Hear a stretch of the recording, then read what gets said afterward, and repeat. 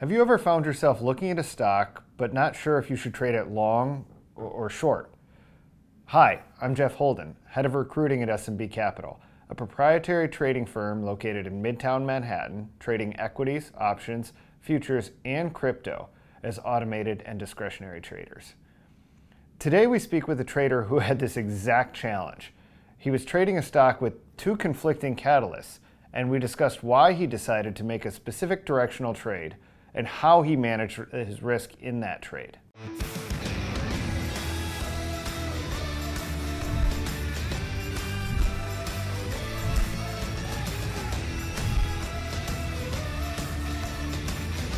I'm going to be uh, presenting a day one gap fade mean reversion on DD.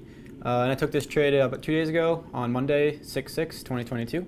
Okay, just so for a bigger picture on SPY, we had dropped about 20% from the highs in January to a low of 380 and since then, we've retraced uh, in the past couple weeks to 411. And we've been in this downward channel for about 107 days since the high of that 479. So we've seen elevated VIX in the past couple months as spies and Qs have been falling uh, off their highs, but the Fed has also mentioned raising rates and we haven't seen an inflation risk. So just to set the stage for a, a bigger picture on the VIX, I just want to throw this slide in. So for a bigger picture on Didi, what is Didi? Didi Global is a China-based company engaged in the operation of a mobility technology platform. So it is very similar to Uber or Lyft that we have in the US, um, but this operates in China. They have about 550 million users uh, and tens of millions of drivers. And the company uh, provides an app-based tra transportation services regarding the following, so such as taxi, private cars, uh, social ride, bike sharing, um, and this is their overall business model. So for the first catalyst of Didi, um, the shares rose 70% in the pre-market from the previous day close on reports that regulators are concluding the investigations into the company. Now, Didi has been one of the worst hit companies uh, since its IPO, uh, as a lot of the China regulations have been tightening, um, and also because of their cybersecurity. But there have been signs of regulatory easing from Beijing as China deals with economic fallout from the weeks-long lockdown in Shanghai. So for Catalyst B, Didi was voted by its shareholders to delist from the New York Stock Exchange, and they will be listing on Hong Kong instead. Now, why is this important relative to the Catalyst A?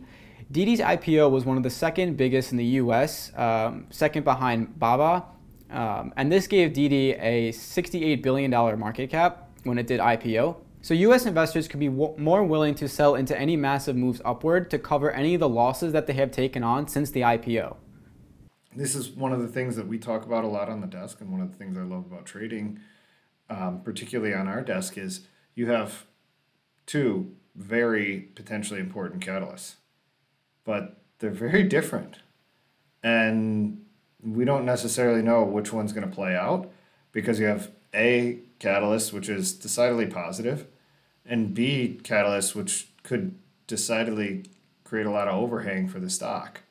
So you know, I'm interested to get into the trade and let's figure out kind of what happens and, and, and how you valued each piece of information that you were given. Uh, so here's a bigger picture DD chart since its IPO. Now you can see it's a macro downtrend and all pops um, have been getting sold into days after. So a couple months back we had the big China bounce uh, right around here and that pop ended up selling off completely and actually making a new low. Uh, and then we're going to be talking about this day right here. Uh, that was the day of the trade. the volume on that day is insane. Yeah, no, it, it, it was absolutely bonkers. That's unbelievable volume for that day. Um, so I do want to put in a China bigger picture. As you can see, uh, I have Baba, KWeb, and Futu. Uh, KWeb is the internet ETF for China. Um, so this is just a macro um, outlook on what China's been doing. So they've been really beaten down, um, but just want to throw this one in there to, to set the stage as uh, we were also looking at these uh, on the day of the trade too, as they were also in play. If you want to learn three more real world setups that our traders use, including the simple setup that we teach all of our new traders, and the setup that turned one of our traders into a seven figure big money earner, check out the free webinar that we're currently running. Just go ahead and click the link that should be appearing now at the top right hand corner of your screen. That will open up the free registration page in a new window, so don't worry, you won't lose this video. You can also visit tradingworkshop.com to register for this free intensive workshop. You're going to learn more in a couple of hours from this trading workshop than from years of online education. So for a trade strategy, with a, trade that I would take like this, uh, I first of all need to have a news catalyst, which I have A and I have B. I have two news catalysts there. And then I also need it to run up pre-market. So the news catalyst caused it to run pre-market. Next, I would like the stock to hit my market views and pass my backtest script. Uh, and then I would hit short at any retracements to the open price, add any of the retracements to VWAP, and then utilize the tick chart to identify any changes in momentum and to manage my risk. Now, once we pass that 11 o'clock mark and the mark, market times to slow and people go to lunch, uh, uh, price falls below VWAP and we put in a lower high, I like to move my stop to VWAP uh, to make the trade completely risk-free and make it a winning trade. And then finally to um, cover the trade, I, I, I will close it at the end of the day. So for some intraday fundamentals here, you can see we have a pretty wide 52-week range uh, from $1.30, which was the low put in a couple weeks, uh, a couple days ago. And then we also have that 18 from its IPO. Uh, now I also want to throw in the ATR in the day range. So the ATR on this one was just about 20 cents versus the day range, which was up almost 90 cents. So definitely um, uh, provided a, a, decent range to trade off of here. Uh, and then we have its AVOL versus its daily volume. So we can see we have massive volume on the day it was traded opposed to its average volume. And then I just threw in the uh, shares outstanding, institutional ownership, the market cap, RVOL, shares float, and the short percentage. Um, but one thing I did want to do is um, show that DD came up on a lot of my market views given its significant RVOL, so almost that 10 RVOL, uh, along with its net percent change. Um, and then a lot of the other China names are moving on this regulatory news. Uh, so as I said before, that DD is doing almost 10 RVOL, uh, 10, 10 times its average daily volume uh, along with the news catalyst. Uh, this wanted, uh, definitely wanted me to be involved in something like this. So now what is the catalyst, the setup, and the trade? So A and B, we have the easing of the regulation and the delisting. Now, uh, the setup is a day one gap fade mean reversion, and the trade for me was an open retracement short. So here's the four hour chart. As you can see here, we have a macro downtrend similar to the daily chart, uh, but I just want to throw this in to kind of zoom in uh, periodically uh, to see what's going on. So here we have a 30 minute chart, and as you can see, we have a massive gap up into the $3 mark, and we ended up clicking, uh, hitting 315 uh, in the pre-market, um, and then ended up selling off uh, throughout the day. But one thing I do want to point out is that elevated volume, uh, as, as this trade was uh, one of the highest traded tickers on the day. So now we have the technical analysis as the, on the five minute. As you can see, we have the gap up from the pre-market, we ran up in the pre-market, and we put in this consolidation right before open. Then we ended up selling off into the 272 range and putting in this uh, second consolidation where we ended up breaking below the pre-market support and then putting in a second consol a third consolidation into the into the afternoon session and then selling off into the close. Uh, now you can see here we have strong volume on the open and strong volume on the close. So there was definitely some sort of either institution uh, getting in or, uh, or getting out. Um, and then I also want to throw in that we failed to reclaim the pre-market highs on open.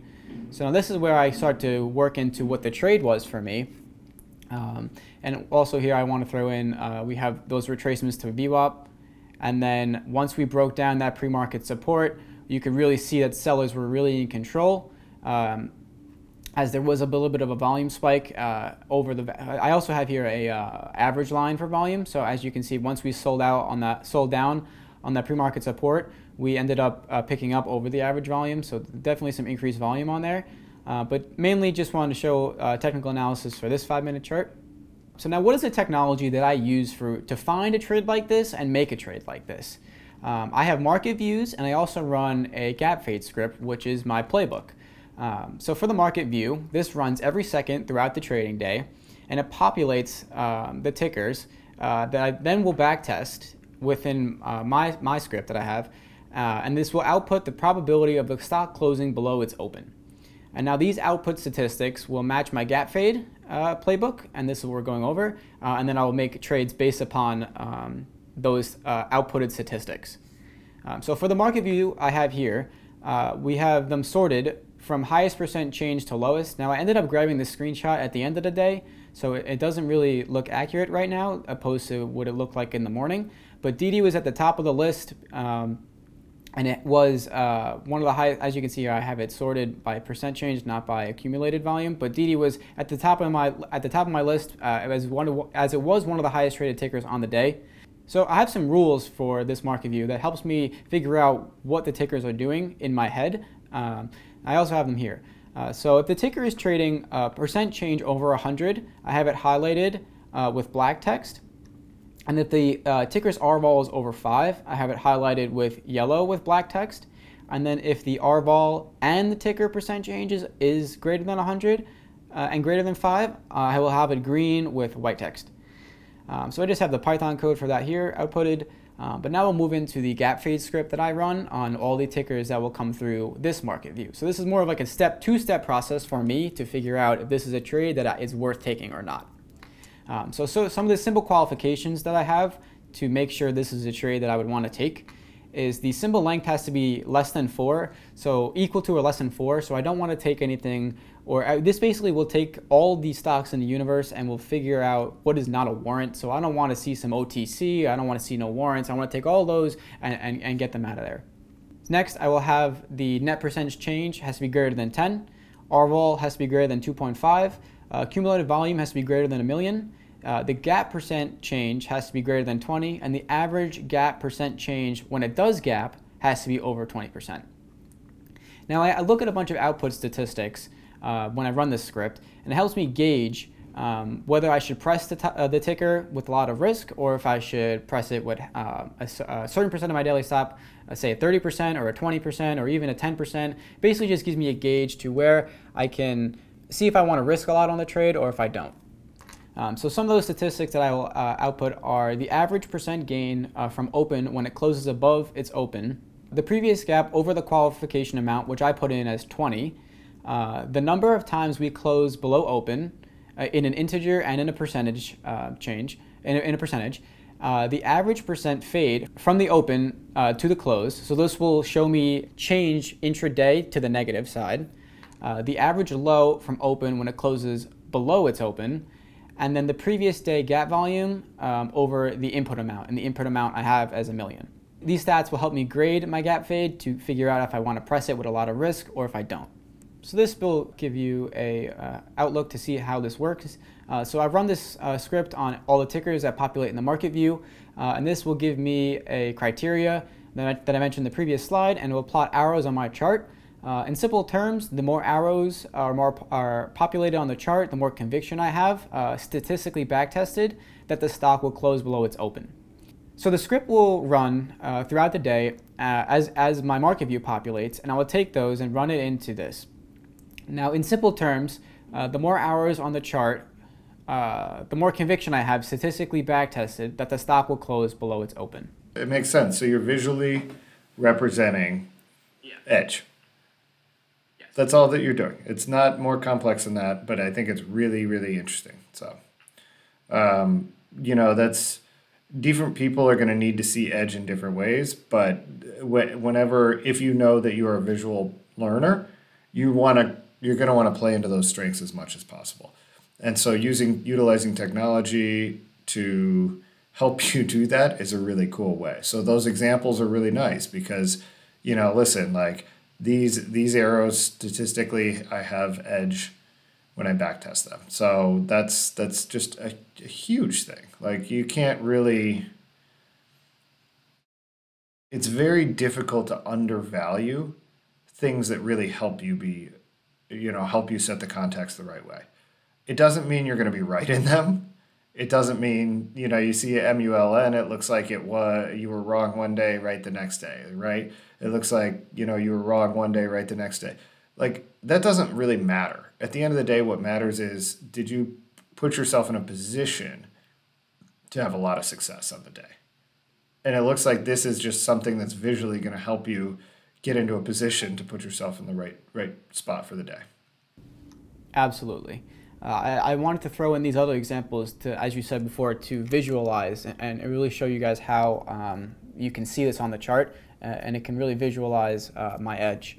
Um, so as you can see here, I added in some other tickers I've traded in the past, um, and you know there there is massive edge here, as you say. And the more the more um, hours I have, the more edge I have. So for reading the tape, uh, I did not capture tape on this trade, uh, nor did I get TOS on demand to work. Um, but this really wasn't a tape trade for this setup. Um, but I did use the tape though to manage risk uh, as we popped into VWAP to see if there's any, any buyers there or any institutions looking um, to, uh, to dump. And um, this, uh, to improve this error, I added a calendar meeting uh, in my calendar that reminds me to record my screens along with a sticky note on my monitor. Um, so this this will won't happen again. This was just a little bit of an error because we were transitioning into the office and I didn't have my, my setup yet. I was still kind of getting used to the, the new setup.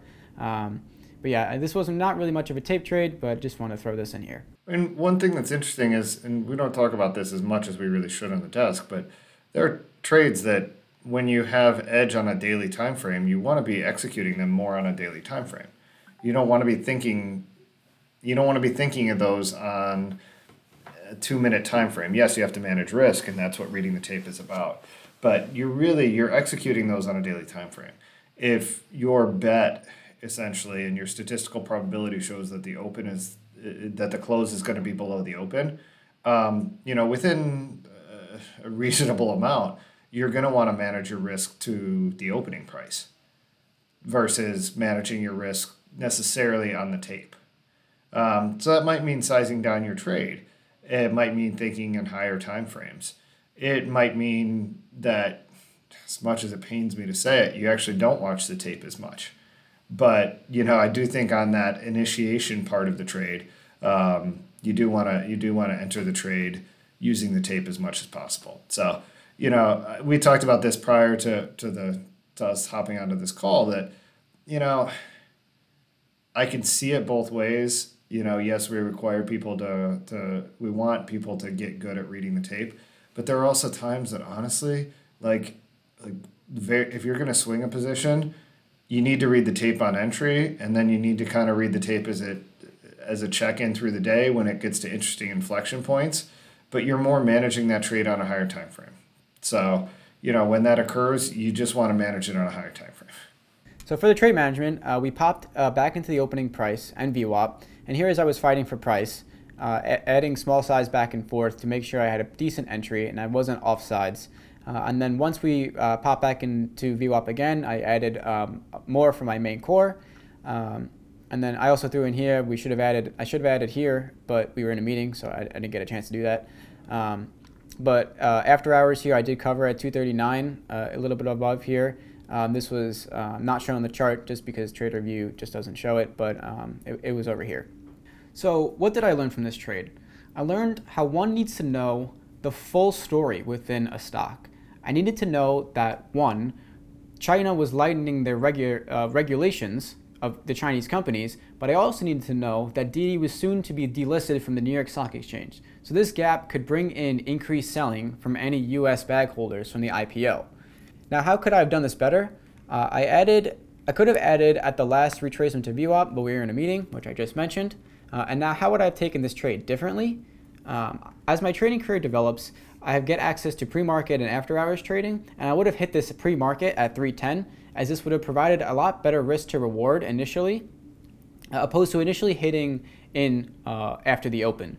Uh, I could have hit in at 310, risking 315, which was pre-market highs, opposed to hitting uh, at $3, risking 305. Now this would have generated a lot more profit and alpha on the trade. So basically what I would have done is I would have entered in this consolidation here, risking 315, uh, opposed to entering down here. Now as you can see, once we hop below that 3, all the increased selling hits in. And now what a risk I run to this is as my trading career develops and I want to start using bigger size, uh, as this increased selling comes in, I might not get the amount of um, size that I wanted to. Now, uh, given I did get the size I wanted to on this trade, um, later I might have not, uh, might have not as I trade bigger. Um, so I could have hit in here pre-market and this consolidation, risking just the highs there, um, which would have been a better risk to reward, and it also would have provided better alpha because the you know the, the change would have the percent change would have been higher, so I would have created more profit. Two ways to look at this trade as you develop. Uh, you know, one you you can talk about getting more size. Two, you can just talk about staying more active in the trade you know, more size obviously is going to be an important factor, but staying more active in the trade. But really, pre market, you don't really have a ton of information. What if this would have LRP'd up right off the open? Mm-hmm. You know, if you're like, hey, listen, I need to get all my size pre-market, like that's actually one of the toughest things to do in trading, is to to predict that you're going to be right from pre-market, because you never really know. What if somebody was short this and this was their reason to cover? and you know there was another Chinese IPO LKNCY or something like that, Luckin Coffee, and you know they were going to be delisted and they were going to go trade pink sheets and they had a positive news catalyst and I think it LRP'd up like four times in a row, and so you know it's it's like like right off the the open on a similar catalyst, and so like the pre market thing I think is right, um, but you know at the end of the day your goal is to if this is likely going to close at low of day or close below the open, I need to think through all the different ways I could get involved in this trade in a in a responsible way, um, and then be open to whatever shows up. You know, because your goal is is to once you really see it to take advantage of that, and you might see it in a couple different ways. But when you stack all the edges in your favor, like you have.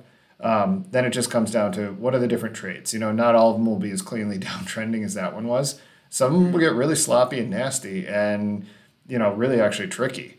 And you want to prepare yourself for that because when you do get those big edge opportunities like you've identified in this trade, um, utilizing the technology, I think it's an important thing to make sure that you're make sure that you're capturing the the opportunity regardless of exactly how it plays out.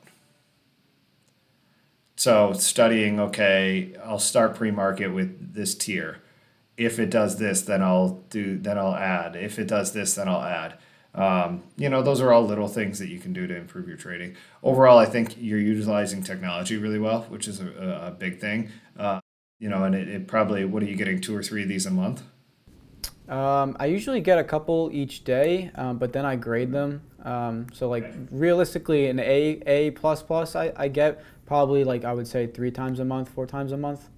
That's pretty good. That's actually really good. Um, plus to an A plus plus is like if I get two of those a month, that's a big deal. So the fact that you're getting three or four, it means you're really using technology very well. Um, so that's that's a really exciting thing. Um, what one thing that you kind of that we kind of jumped over, but I think is maybe the most interesting thing that you've said in this entire playbook is you grading them after you get the outcome.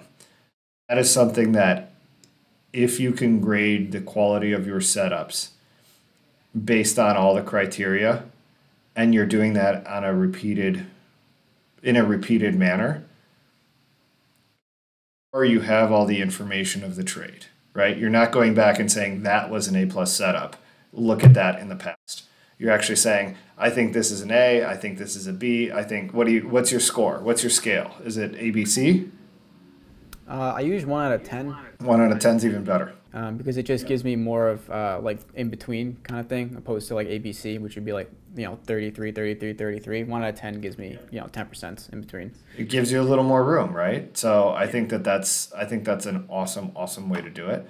So that is a best practice of you know, if you get a six, seven, eight, nine, ten, you know, there's a big difference. A six is probably, yeah, it's fine, but I need a lot to happen. A seven is, hey, I should pay attention, you know, I could probably get, you know, be set up, you know, maybe, maybe be something like that. Eight, nine, and 10 is probably where you're going to make your money. And so, you know, and, and anything below a five, it's just sort of like, it's not even worth my time but the habitual process of grading them will give you way more edge than you could ever imagine. So I think that's a huge opportunity there. Cool. Thank you, Jeff. Yeah. Um, so let's run through the scorecard for this. So stock selection. I just have it right here. Stock selection, I'd give you a 10. I think that was very good. Um, big picture, I give you a 10. I like the way that you um, I like the way that you defined the two different, almost contrarian viewpoints that you could hold. Um, I think that that understanding both and being respectful of both is really important. Um, you know, it does allow the narrative to get skewed a little bit when you're trying to decide is it a long or a short. But I, I do think it's, I think being aware of both is a really important factor. Uh, trade strategy. Uh, you know, I give you a nine. I think that, like you said, like you identified something that would be different and something you could do a little differently. So I think overall a nine's pretty good there. Um, intraday fundamentals, um, given the factors involved, I thought you did really well. So that's a ten. Uh, technical analysis, I thought was a ten. Reading the tape, you know, I'm gonna give you a four because like the reality is I, I don't necessarily I think we have to read the tape every time, but you know, when we discussed this offline, you were kind of you helped me see that this really isn't a trade that you you're managing in a higher time frame. So, you know, I think a four is fine there. Um, you know, you don't necessarily have to read the tape in that sort of trade because you have kind of you're thinking of it in a, in a more universal fashion. Um, trade management, I thought was really good. Um, you know, I'd give you a nine there. Technology ten, uh, review ten, and diligence ten. So you know, overall, um, yeah. So ninety-two total. I think that's good. Sorry, I'm watching too many things on my screens at one time. Um, I'm trading a lot of things right now, uh, more than I'm used to, and it's making me uncomfortable actually. But uh, yeah, so 92 total score. Um, you know, obviously, I think that the ways to improve this, um, I think your trade strategy can improve a little bit. Um, from the perspective that you can open yourself up to a lot of different ways that this could trade out. Um, but I, I, I think you're pretty much in the right place. Obviously, reading the tape, like identifying the most important moments for that, like you said, like that little wick up where you were like we were in the meeting, like having that on tape so you can relive that, like that moment can be really scary for a couple people. So, um, so you know that that's really tough. Um, trade management, I think, yeah, like you know, really knowing where you're going to cover, really staying with it. Like, like, but overall, I thought you did a really good job, and it's it's a it's a good example of this how you can respond when you're given these conflicting catalysts. Hey, go ahead and click our subscribe button so you don't miss any of the videos they are producing for you in the trading community. And please take the time to add your feedback in the comments section for what videos you'd like for us to produce next and what you found helpful from this video. From all of us at SMB, train and trade well.